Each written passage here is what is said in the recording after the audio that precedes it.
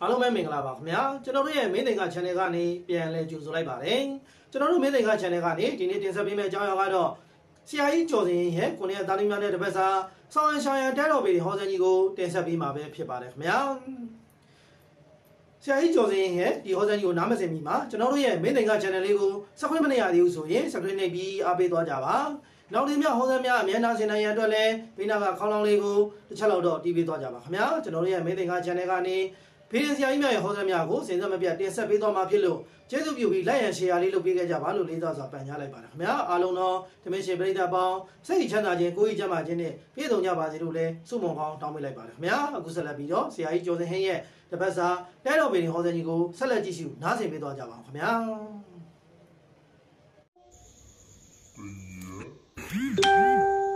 ကဲကျွန်တော်မိတ်ဆွေပေါင်းမင်္ဂလာပါကျွန်တော်ကျော်စင်ဖန်ရဲ့တပတ်စာပေးတယ်စတင်ပါပြီ ဒီတစ်ပတ်တနင်္ဂနွေသားသမီးတို့ရဲ့ယင်းထဲမှာ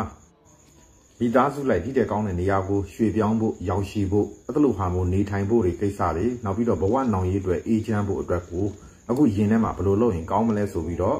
စဉ်းစားတွေးတော့နေပါတယ်မျောလင့်တောင်းတရည်မှန်းချက်ကတော့ချိုချမ်းပဲရွှေတာမယ်စူဆောင်းပဲအလုံးနဲ့လက်နဲ့မပြတ်အောင်လုပ်ကင်ပဲအဲ့တော့ကိုယ့်ရဲ့အိမ်ရဲ့မိသားစုရဲ့နောက်ပိုင်းပူပင်သောကတွေနဲ့ပတ်သက်ပြီးအေးချမ်းအောင်ဖန်တီးမယ် အဲ့တော့ရက်တည်နိုင်အောင်ဘဝမှာကြိုးစားမယ်ဟဲ့ဆိုပြီးတော့ဒါကိုယ့်ရဲ့ရင်ထဲမှာမျောလင့်တောင်းတနေပါတယ်မမျောလင့်မဲနဲ့တတင်းတွေသားသမီးတွေဘယ်လိုဟာမို့ကြုံနေလဲဆိုလို့ရှင်တော့ခေါင်းပူခေါင်းရှုပ်စိတ်ညစ်စရာတွေအပူပေါ်အပူဆင့်ပြီးတော့စိတ်ညစ်စရာတွေကြုံတွေ့ရတတ်ပါတယ်အဲ့တော့ကြံစီသမျှတွေလွဲချော်တာမျိုးတွေလည်းကြုံတွေ့ရတတ်တယ်ခေါင်းထဲမှာစိတ်ထဲမှာရင်ထဲမှာအကြံဉာဏ်ကောင်းတွေဘလောက်ပဲရှိရှိအဲ့တော့အဲ့ဒီအကြံဉာဏ်ကောင်းတွေကိုကြကြနနထုတ်မပေါ်နိုင်တာမျိုးမလောက်ကင်နိုင်တာမျိုးမကြံစီနိုင်တာမျိုးအဲ့လိုဟာမျိုးတွေ ဖြစ်တတ်ပါတယ်အဲ့တော့အကြံကောင်းဉာဏ်ကောင်းတွေဘလောက်ပဲရှိရှိဒီကာလအတွင်းမှာအရာအလုံးအောင်ပိတ်ဆို့နေတာမျိုးတွေကြုံတွေ့ရတတ်ပါတယ်စိတ်ညစ်စရာပူပင်တော့ကအနေနဲ့ကတော့ကုံသွားတဲ့ငွေကြေးတွေဆုံးရှုံးသွားသောအခွင့်အရေးတွေလက်ဝဲပိုင်ပိုင်ပြန်လည်ရရှိအောင်အဲ့လိုဟာမျိုးလုပ်ဖို့ကင်ဖို့အတွက်ကိုစိတ်ညစ်ရတာမျိုးဖြစ်တာကတကြောင်စာချုပ်စာတမ်းစာရွက်စာတမ်းနဲ့ပတ်သက်ပြီးစိတ်ညစ်ရတာကတစ်မျိုးအဲ့တော့လူမှုရေးပိုင်းတွေနဲ့ပတ်သက်လို့ရှင်လဲအနောက်ရှက်မျိုးစုံကြုံတွေ့ရတဲ့အတွက်ကြောင့်လဲ စိတ်တော့ကရောက်စရာတွေကြုံတွေ့ရတဲ့အဖြစ်အပျက်တွေကြောင့်ဒီကာလအတွင်းမှာတနင်္ဂနွေသားသမီးတွေစိတ်ညစ်စရာကြုံတွေ့ရတတ်ပါတယ်။ငယ်ရွယ်တဲ့တနင်္ဂနွေသားသမီးတို့ရဲ့ကန်ဆာတာမှာဆိုလို့ရှင်တော့မိသားစုနဲ့လည်းပတ်သက်ပြီးตายရမယ်ချမ်းမြေစရာတွေကြုံမယ်ငွေကြေးအခွင့်အရေးကောင်းတွေနဲ့လည်းကိုယ့်ရဲ့ဘဝမှာထိတ်တိုက်တွေ့ဆုံရတာမျိုးကြုံတွေ့ရတတ်တယ်။အဲ့တော့ငွေကြေးတွေဖောဖောတီတီဘဝမှာသုံးဆွဲရတာမျိုးဝင်ငွေကောင်းတာမျိုးတွေဒါငယ်ရွယ်တဲ့သူများဖို့ကြုံတွေ့ရပါလိမ့်မယ်။အိမ်အောင်ရှင်မိတ်ဆွေများအနေနဲ့ကတော့အထီးကျန်မှုတွေဒီကာလအတွင်းမှာ စက်တိုက်ဆိုလိုပဲကြုံတွေ့ရတတ်တယ်အားငယ်စိတ်တွေနဲ့အချိန်ကုန်တာမျိုးတွေဖြစ်ပေါ်တတ်ပါတယ်အိမ်အောင်ရေးနဲ့ပတ်သက်လို့ရှိရင်ရေရှည်အတွက်ကိုယ်မှာချိန်ဆစရာတွေစဉ်းစားစရာတွေတွေးခေါ်ရမယ်အပိုင်းတွေဒီကာလအတွင်းမှာကျင်းတွေကိုကြုံတွေ့ရင်ဆိုင်ရတာမျိုးဖြစ်ပေါ်တတ်ပါတယ်ဒီဝါသနာပါလို့ထီထိုးခြင်းနဲ့တနင်္ဂနွေသားသမီးတို့ကတော့ကားတွေရဲ့ဥကောင်းပိုင်းမှာရှားကြည့်ပါဆိုင်ကယ်တွေရဲ့ဥကောင်းပိုင်းမှာရှားကြည့်ပါအဲ့လိုနေရာမျိုးမှာမိတ်ဆွေအတွက်အကျိုးပေးသောကဏ္ဍတစ်ခုခု တွေ့ပါမြင်ပါလိမ့်မယ်တဲ့ဗျာညံနာတွေပြပြပြီးကောင်းကျိုးချမ်းသာရရှိဖို့ရရယာအနေနဲ့ကတော့တနင်္ဂနွေသားသမီးများကမိမိအကြိုက်ဆုံးဟင်းလျာတစ်မျိုးမျိုးကိုယဟန်တန်ဃာအားလှူဒန်းမယ်သီလတမာရီရှိတဲ့လူကိုကျွေးမွေးမယ်လှူဒန်းမယ်ဆိုလို့ရှင်တော့ဒါကိုယ့်ရဲ့ညံ့ခက်တွေအားလုံးပြေပြောက်ပြီးကောင်းကျိုးချမ်းသာရရှိပြီးတော့ကံစတာညံ့ခက်တွေအားလုံးကလည်းပြေပြောက်ကောင်းမွန်သွားပါမယ်လို့ဒီမှာဖော်ပြထားပါတယ် ကဲဘူးဆက်လက်ပြီးတော့တနင်္ဂနွေသားသမီးတွေပြီးသွားပြီဆိုတော့တနင်္လာသားသမီးများအတွက်တပတ်တာကံကြမ္မာကိုဆက်လက်ဟောကြားပေးမှာဖြစ်ပါတယ်ကျွန်တော်ရဲ့ဘေးရင်ဟောပြောခြင်းကတော့နေ့လယ်7နာရီကနေညနေ3နာရီတွင်မှဖြစ်ပါတယ်ကျွန်တော်ရဲ့ဘေးရင်ဟောကန်တီနေရာကတော့ဖအံမြို့မှာပဲဖြစ်ပါတယ်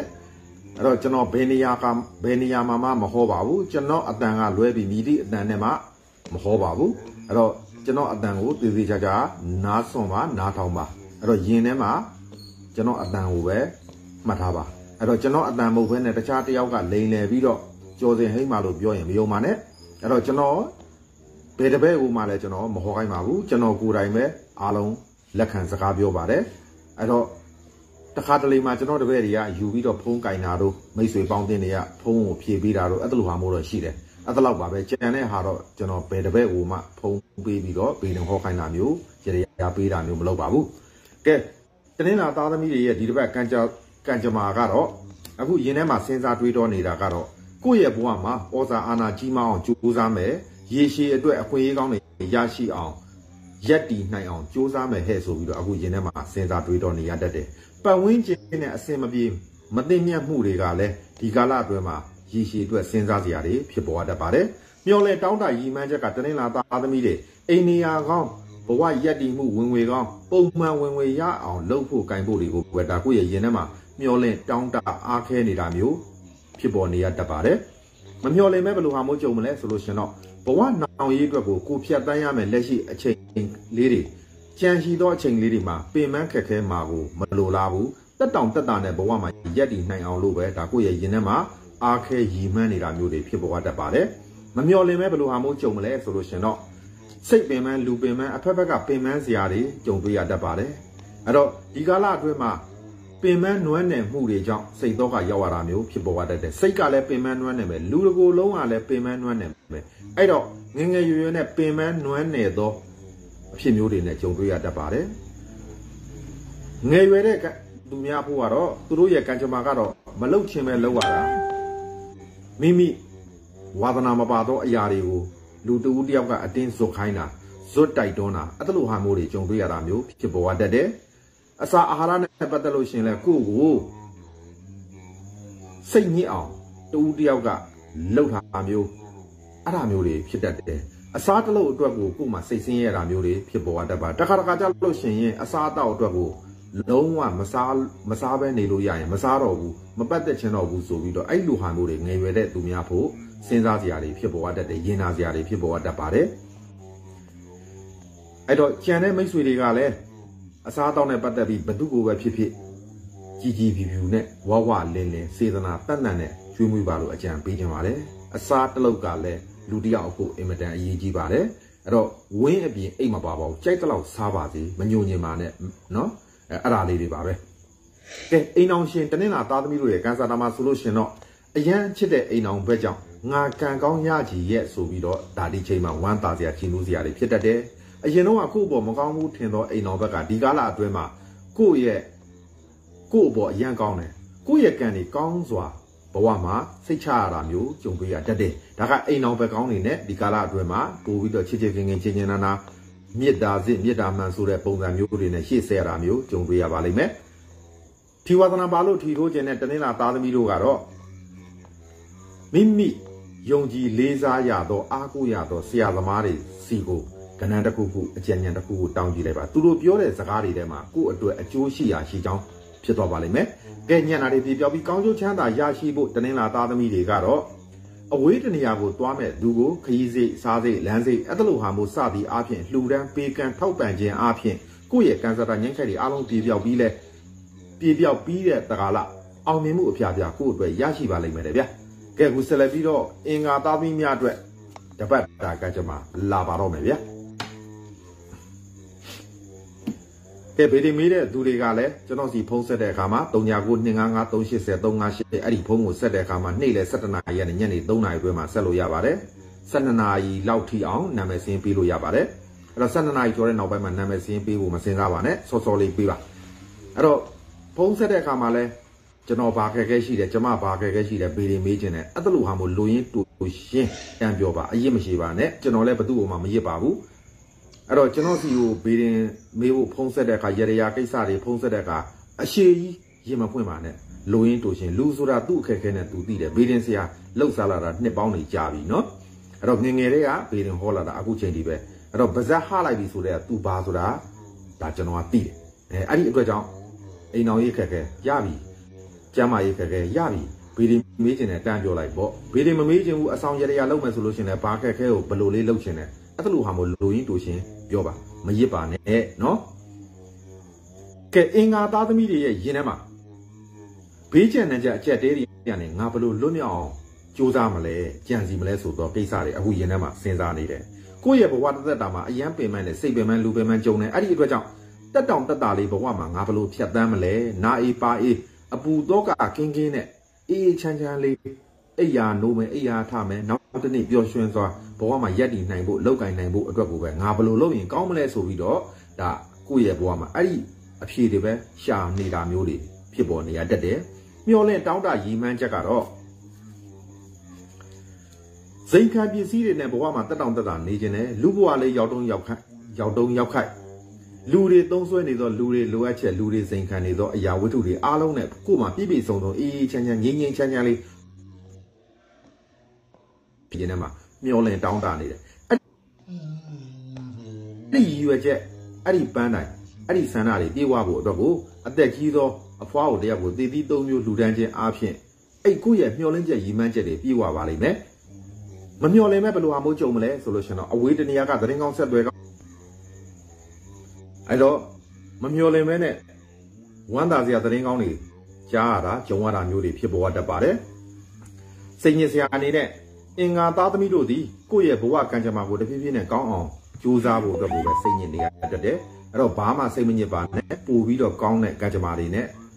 ထိတ်တိုက်ကြုံတွေ့ရပါလိမ့်မယ်တဗျအများကြီးဆူတောင်းကြရတာမလိုပါဘူးနည်းနည်းလေးဆူတောင်းတာနဲ့အများကြီးရပါလိမ့်မယ်နည်းနည်းလေးကြိုးစားလိုက်တာနဲ့အများကြီးကံကောင်းပါလိမ့်မယ်အဲ့တော့ကိုယ့်ဘက်ကကြိုးစားဖို့တော့အရေးကြီးတာပေါ့အဲ့နေလို့ကတော့ဘာမှဖြစ်မလာဘူးเนาะဟယ်လို ဒိုးမနာလေးညဘက်ကြီးလည်းဖုန်းခေါ်ကဲအဲ့တော့ပို့ပြီးတော့ကောင်းသောကံကြမ္မာမျိုးတွေကြုံကျင်တဲ့အတွက်ကြောင့်အင်္ဂါသားသမီးတွေစိတ်တော့ကစိတ်ညစ်စရာတွေဖြစ်ပေါ်နေရတတ်ပါတယ်ငယ်ရွယ်တဲ့အင်္ဂါသားသမီးတို့ရဲ့ကံစားတာမှာဆိုလို့ရှိရင်တော့အထီးကျန်မှုတွေကြောင့်ဘဝတသက်တာအတွက်အတလူဟာမိုးတွေအတွက်ကိုယ်မှာကြိုတင်စဉ်းစားရင်မောရင်းနဲ့ချစ်ချင်းမြတ်တာတွေကိုမယုံရဲတာအဲ့တော့ပညာရေးတွေနဲ့ပတ်သက်လို့ရှိရင်လည်းကိုယ် မှာအခက်အခဲတွေအတလူဟာမိုးတွေကိုယ်မှာစိုးရင်ပူပန်မှုတွေကြောင့်စိတ်ညစ်စရာတွေဖြစ်တတ်တယ်ဒါငယ်ရွယ်တဲ့သူတွေဖို့ပေါ့နော်အဲ့တော့ပတ်ဝန်းကျင်ကိုကြည့်လိုက်မယ်ဆိုလို့ရှိရင်စိတ်ညစ်စရာကြီးပဲအဲ့တော့ငါအလှဲ့လဲစိတ်ညစ်စရာတွေကြုံမာလားဆိုပြီးတော့မလာသေးသောမကြုံရသေးသောရှေ့ခရီးကိုတွေးပြီးတော့ပူပင်ရတာမျိုးတွေဖြစ်တတ်တယ်ဒါကငယ်ရွယ်တဲ့သူများဖို့အိမ်အောင်ရှင်အင်္ဂါသားသမီးမိတ်ဆွေတို့ကတော့ကံဆိုးတာတွေလာတတ်တယ်စိတ်ညစ်စရာတွေလာတတ်တယ်အဲ့တော့ဒီကာလအတွင်းမှာ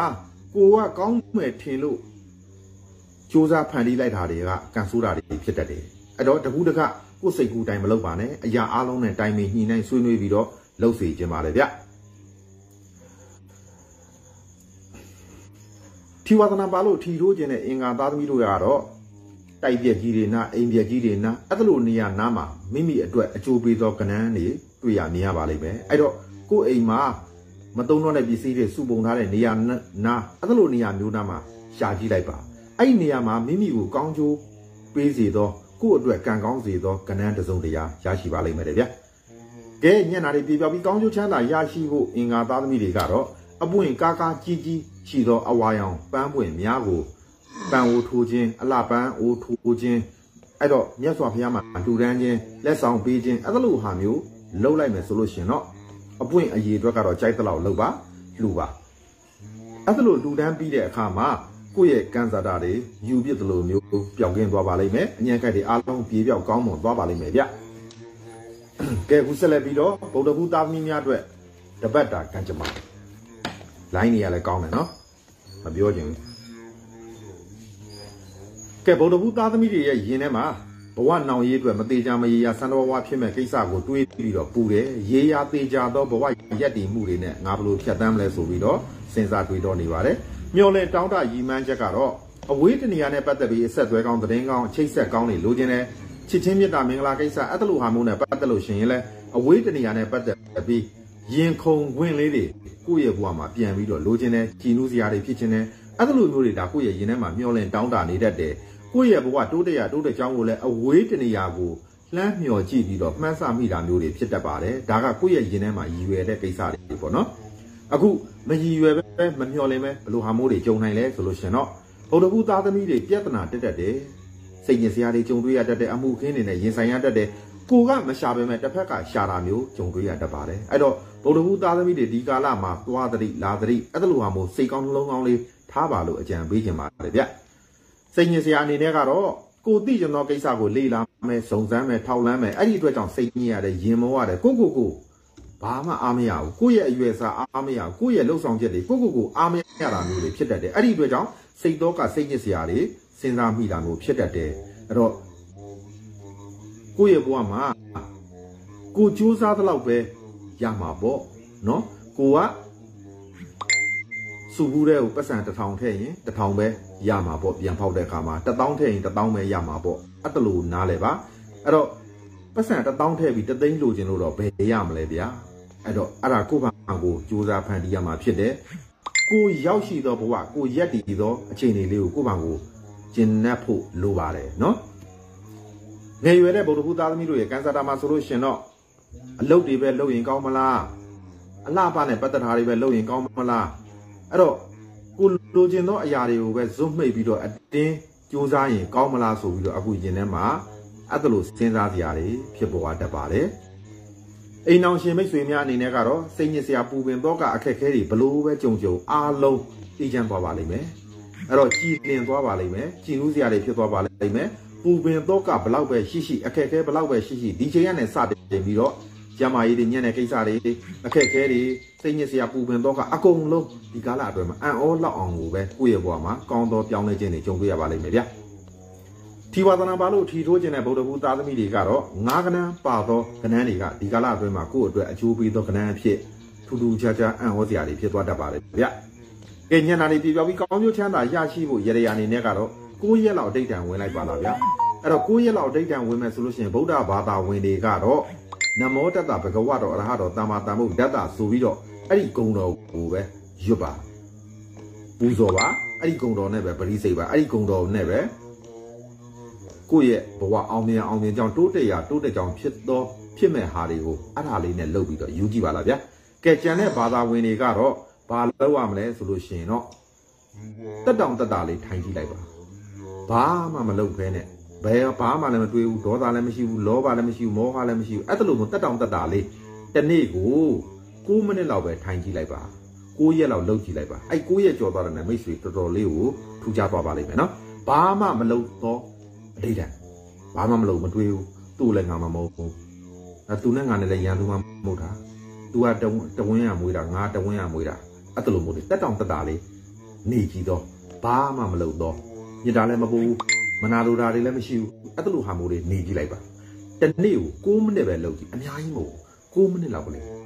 ခမရဘွားမှာထူးထူးခြားခြားကောင်းမွန်သွားပါလိမ့်မယ်ဗျကဲ ဂုဆလပြီးတော့ကြာတာပေးသားသမီးများတွေတပတ်တာခံချက်မှာ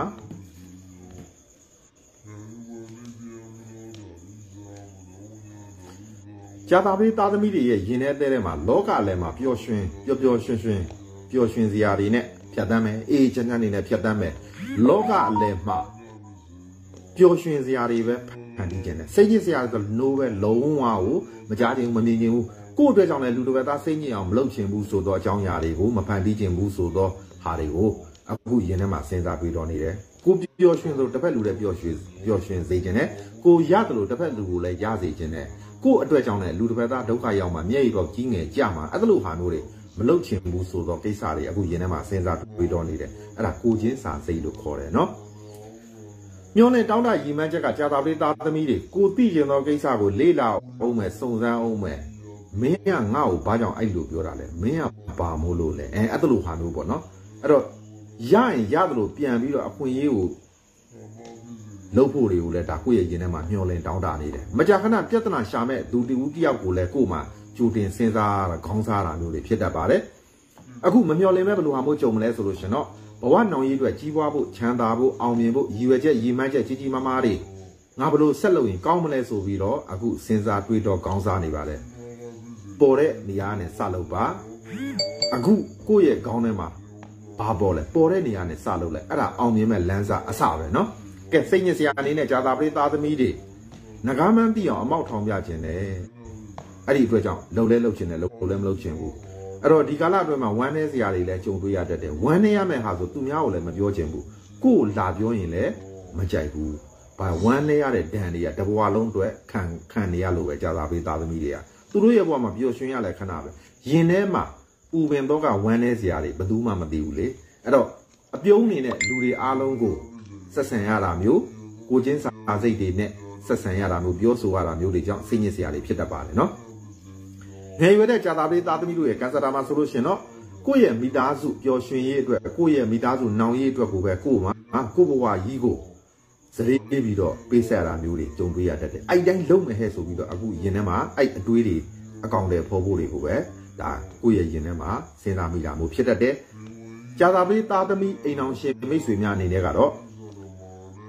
အခွင့်အရေးကောင်းတွေရပါလျက်နဲ့ကိုယ့်ရဲ့အိမ်အောင်ဘက်ကြောင့်စိတ်ဆင်းရဲတာမျိုးဖြစ်တတ်တယ်ကိုကစူးစမ်းပန်းစားရှာဖွေတယ်အလုပ်တွေလုပ်တယ်မလီမနာတစ်ဖက်လူကနားမလဲဘူးအဲ့ဒီအတွက်ကြောင့်ပဲစိတ်တော့ကရောက်စရာတွေဖြစ်တတ်ပါတယ်အဲ့တော့နားလည်အောင်ရှင်းပြလိုက်ပါ နိုင်တိုင်းလည်းမလုံးနဲ့နော်နိုင်တိုင်းလည်းကိုယ့်ရဲ့အိမ်တော်ဘက်ကိုမမနိုင်နဲ့ချိုချိုတာတာချင်းချင်းနာနာဖြစ်မဲ့စကားပြေးလဲမဲ့စကားပဲပြောရန်စကားမပြောနဲ့ဘာကြောင့်လဲဆိုမုံလို့မှမရတာဝေးလို့မှမဖြစ်တာနော်ကဲဂျာတာပလေးသားသမီးအိမ်အောင်ရှင်နေပြီးပြီဆိုတော့ထီဝါသနာပါတဲ့ဂျာတာပလေးသားသမီးတွေအတွက်ကတော့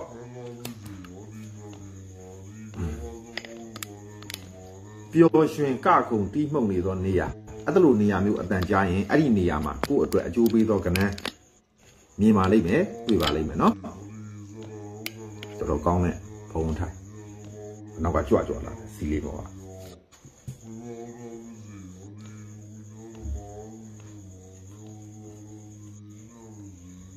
ကဲညနာတွေပြပြပြီးကောင်းကျိုးချမ်းသာရရှိဖို့ရရအနေနဲ့ကတော့မိမိအကြိုက်ဆုံးအစားအစာများကို ယဟန်တန်ခါအားတူတန်းခြင်းသီလတမာရီရှိတဲ့သူကိုလူတန်းချင်းအားဖြင့်ကိုယ့်ရဲ့ညှက်ခက်တွေအားလုံးပြေပြောက်ကောင်းမွန်သွားပါလိမ့်မယ်လေဗျအခုဆက်လက်ပြီးတော့တောက်ကြသားသမီးများအတွက်တပတ်တာကတ်ကြမှာ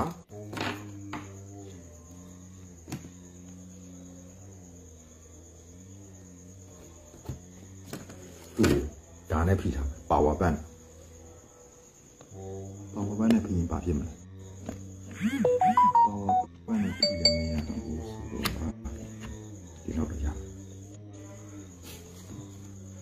ကဲအခုတောက်ကြသားသမီးတွေရဲ့ရင်ထဲမှာအလုံငန်းနှစ်ခုကြာကြာနာနာလှုပ်ဖို့အဲ့တော့ရွေးချယ်တဲ့အခါမှာလဲကိုယ့်အတွက်အဆင်ပြေဖို့အတွက်ကိုစဉ်းစားတယ်နောက်ပြီးတော့လုပ်ငန်းတစ်ခုဝင်ဝင်တစ်ခုနဲ့ဘဝမှာရက်တည်နိုင်အောင်အဲ့လိုဟာမျိုးတွေကိုကုတာကိုယ့်ရဲ့ရင်ထဲမှာစဉ်းစားတွေးတော့နေတယ်မျောလင့်တောင်းတရည်မှန်းချက်ကတော့ကိုယ့်ကူညီမဲ့သူဘလို့ပဲကူညီကူညီသူ့အဆင်ပြေဖို့သူ့ကိုမိခိုပြီးတော့ကိုယ့်ရဲ့ဘဝမှာရက်တည်ဖို့အခွင့်အရေးကောင်းတွေရရှိဖို့ အဲ့လိုဟာမျိုးကိုဒါကိုယ့်ရဲ့ရင်ထဲမှာမျောလင့်တောင်းတနေပါတယ်ဖုန်းကြီးကလည်းကွာညာဘက်ရောက်လဲဆက်ဒီမဆုံးမဖာမဆုံးမသားသမီးတွေမင်းတို့ကလည်းနာကက်ထဲလည်းမပါဘူးနော်ကိုပေထဲလည်းမပါဘူးနာကက်ထဲလည်းမပါဘူးအာပါပြီးတခါတည်းသွားမှာအလားအေးရောလူလူနားမလဲတဲ့ဟာတွေကဲလူလူနားမလဲတဲ့ဟာတွေထဲမှာဒီကမိတ်ဆွေတွေမပါဘူးနော်အခုဖုံးဆက်တဲ့လူတွေပဲပါတယ်ကဲ မမျှော်လင့်မဲ့ဘယ်လိုဟာမျိုးကြုံမလဲဆိုလို့ရှင်တော့ပြဿနာတွေစိတ်ညစ်စရာတွေအဲ့လိုဟာမျိုးစုပြုံပြီးခံစားတာမျိုးဖြစ်တတ်တယ်။ကိုကဘလောက်ပဲကောင်းအောင်ကြိုးစားကြိုးစားအဲ့ပြဿနာတွေကတက်ပြီးရင်တက်ချင်းစိတ်ညစ်စရာတွေကြုံပြီးရင်ကြုံချင်းအဲ့လိုဟာမျိုးတွေတောက်ကြသားသမီးတွေဖြစ်တတ်ကြုံတတ်ပါတယ်ဗျ။စိတ်ညစ်စရာအနေနဲ့တောက်ကြသားသမီးတွေကကိုတန်ရောစင်ကြီးမားတဲ့သူတွေကိုဝေးကွာခွဲခွာဆုံးရှုံးရတာမျိုးအဲ့လိုဟာမျိုးတွေကြောင့်ကို့မှာစိတ်တော့ကရောက်စရာပိုပြီးတော့ဖြစ်တတ်ပါတယ်။အဲ့တော့တက်တောင်တက်တာစဉ်းစားမယ်။ အားလုံးကအချိန်တန်ခွဲရမှာပါပဲဝေးရမှာပါပဲအဲ့တော့အခုခွဲရတော့မြင်မြင်ဆန်းဆန်းပျော်ရွှင်စရာတွေစဉ်းစားစရာတွေဖြစ်တာပေါ့နော်ကဲငယ်ရွယ်တဲ့တောက်ကြသားသမီးတွေကန်ဆာတာမှာဆိုလို့ရှိရင်တော့ချစ်ချင်းမြတ်တာနဲ့ပတ်သက်ပြီးအောင်မြင်မှုတရက်ဘူးစောင်းရမယ်ကိုယ့်ရဲ့ရည်ရွယ်ချက်ပန်းနိုင်ကိုမရောက်ရောက်အောင်တွားတဲ့အခွင့်အရေးမျိုးမျိုးတွေကြုံပေးရပါလိမ့်မယ်နည်းနည်းလေးတော့ပင်မခက်ခဲမယ်ဇွဲရှိရှိလေးကြိုးစားလိုက်ပါ အိမ်အောင်ရှင်မိတ်ဆွေများအနေနဲ့ကတော့တဦးနဲ့တူဒေါသထွက်စရာရန်လိုစရာအဲ့လိုစကားပြောဆိုမှုအဆင်မပြေမှုတွေကြောင့်အိမ်အောင်ရေးမှာရေရှည်အတွက်ကိုစိတ်တော့ကရောက်စရာတွေဖြစ်တတ်တယ်ချိုချိုတတပြောပါဒေါသတန်ရန်လိုတန်တွေနဲ့ပြောလာရင်လဲဩ तू ဘာကြောင့်လဲ तू ဘလို့ဟာမျိုးလဲသူ့နေရာနဲ့ကိုကဝင်ပြီးတော့စဉ်းစားကြည့်လိုက်ပါအဲ့တော့တွေးပေးလိုက်ပါအဲ့ဒါအဲ့ဒါဆိုလို့ရှိရင်အဲ့အိမ်အောင်ရေးရလဲရေရှည်အတွက်အဆင်ပြေသွားမှာပေါ့အိုးရွက်ကိုစလောင်းရွက်နဲ့ဖုံးရင်ရွက်တဲ့ရွက်မှာပေါ့တဲ့ဖို့တော့မရှိဘူးပေါ့နော် အဲ့တော့ဒေါသထွက်နေတဲ့လူကိုကိုကလည်းပြေလေရပြေလေကြောင်းမပြောဘဲနဲ့နော်တော်တယောက်တည်းလုပ်နေရတာမဟုတ်ဘူးတော့လို့စားစားနေတာမကြုံလဲကြုံအာအဲ့ဒါတွေရှောက်ပြောနေလို့ရှိရင်ပြဿနာတွေကပူကြီးထွားသွားမှာပေါ့ကိုဘက်ကနားလဲစာနာစိတ်ကလေးနဲ့တစ်ဖက်လူပေါ့စဉ်းစားတွေးတော့ပေးတာအကောင်းဆုံးပါပဲကဲထီဝသနာပါလို့ထီထိုးခြင်းနဲ့တောက်ကြသားသမီးတွေကတော့ဒေါသအရန်ကြီးသောသူတယောက်ကနာမည်အမိနာမဒီကိုအတွက်အကျိုးပေးသောကဏ္ဍတစ်ခုဖြစ်သွားပါလိမ့်မယ် ညနာလေးပြပြောပြီးကောင်းကျိုးချမ်းသာရရှိဖို့ကတော့ညင်ညံသွေးမပြေဝါသောအယူများကိုအစာအာဟာရအနှွေးတဲ့စောင်းခေါင်းစွတ်ခြေစွတ်စသည်အားဖြင့်အဲ့ဒါလို့သူတို့လိုအပ်မဲ့ဟာလေးတွေကိုလူရန်ပေးကမ်းခြင်းစွန့်ကြဲခြင်းအားဖြင့်ကိုယ့်ရဲ့ငြိမ်းခိုက်တွေအားလုံးပြေပြောက်ကောင်းမွန်သွားပါလိမ့်မယ်လေဗျာအခုဆက်လက်ပြီးတော့စနေသားသမီးများတွေတပတ်တာကံကြမ္မာ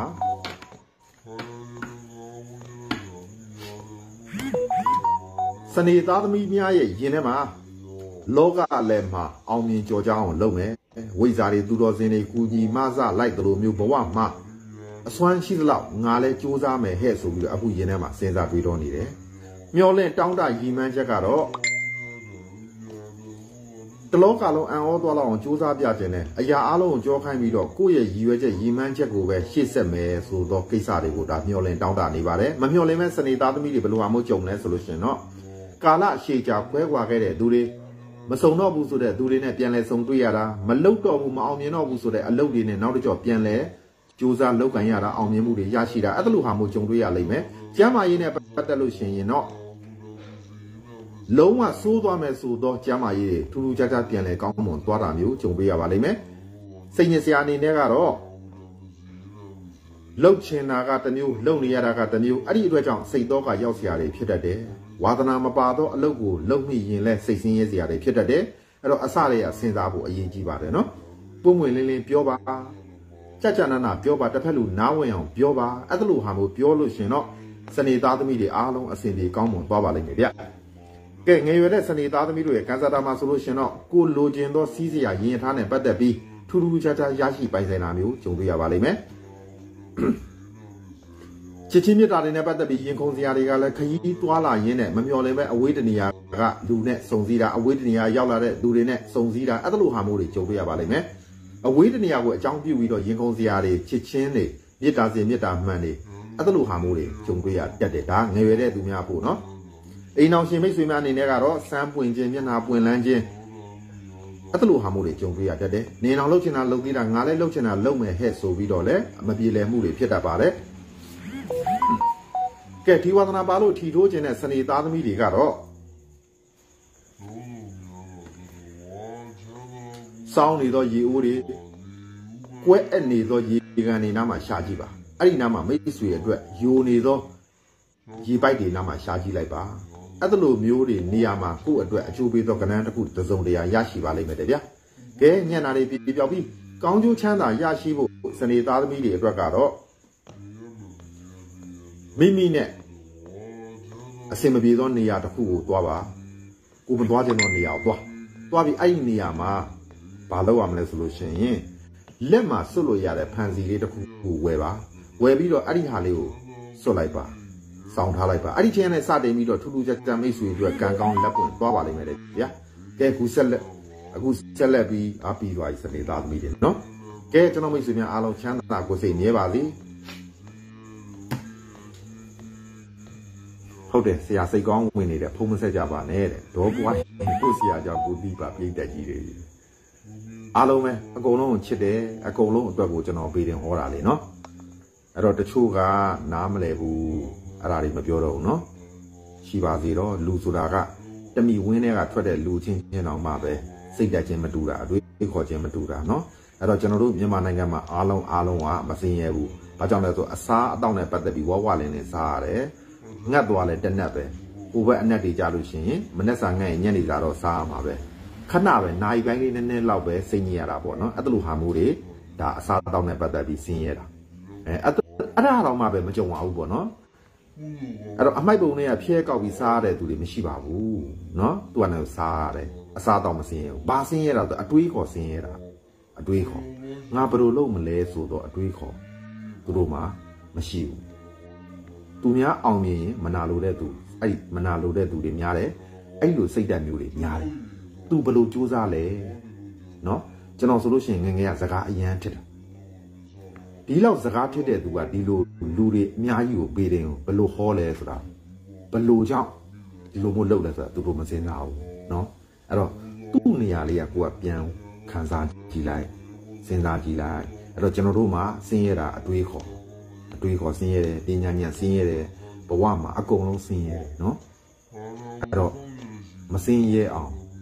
လုပ်ပါနော်လောကမှာဆင်းရဲရင်နှိမ့်ဆက်ကြတယ်ရုပ်ဆင်းရဲရုပ်ချောတဲ့သူကကိုယ်နှိမ့်ဆက်တာပေါ့ဟာခမရယုံကြည်ပြနှာခေါင်းညက်လဲကြီးအဲဒီလိုမျိုးကိုယ်ဒါနှိမ့်ကွတာမဟုတ်ဘူးလားခမရဗျာစကားပြောတာလဲတစ်လုံးနဲ့တစ်လုံးကလဲထစ်ပြီးတော့အထစ်နေတာအဲ့ဒီပုံစံနဲ့များခမရဘေးရင်ဟောစားသေးတယ်အဲ့လိုမျိုးအပြောခံရတာတွေလည်းကြုံခဲ့တယ်နော် အဲ့တော့လောကအလဲမှာဆင်းရဲရင်နှိမ့်ဆက်ကြလိမ့်မယ်ချမ်းသာအောင်လုပ်ကြစိတ်ချမ်းသာအောင်လုပ်မယ်လူချမ်းသာအောင်လုပ်မယ်ချမ်းသာမဲ့နေရာမှာနေမယ်စိတ်ငြိမ်ရမဲ့နေရာမှာမနေနဲ့အဲအဲ့အဲ့လိုဟာမျိုးလေးပေါ့နော်အဲ့တော့ကိုယ့်ရဲ့ဘဝမှာအကောင်းဆုံးဖြစ်အောင်ဖန်တီးပါအကောင်းဆုံးဖြစ်အောင်ကြိုးစားပါအခွင့်အရေးဆိုတာကိုကလုပ်ယူမှရမှာနော်ကဲကျွန်တော်မိတ်ဆွေများအားလုံးလိုချင်သောအခွင့်အရေးကောင်းတွေရရှိပါကြပါစေနော်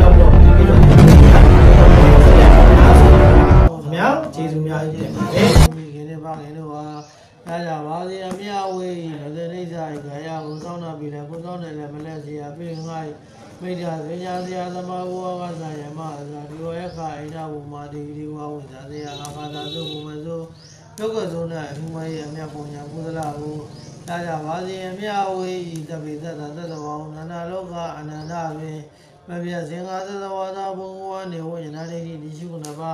များသောလုံးစုံဘုံဆုံးစတိဖြစ်တဲ့မြဝိနည်းကိုအမြကုသိုလ်ပြုလို့ကုသလအိကိုကြောင့်အမြကြရဖြစ်စေတော်